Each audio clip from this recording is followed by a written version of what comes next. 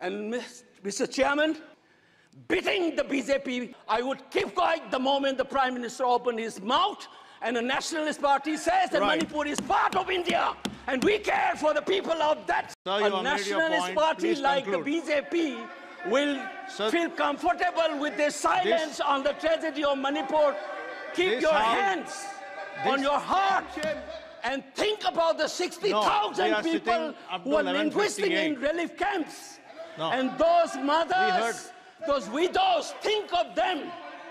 And then you talk about nationalism. Point is made. He made Only then we will understand what this tragedy means. And Mr. Chairman, the hurt, the anger has thrown a nobody like me to be part of this temple of democracy. Beating the BJP cabinet minister, think about the pain.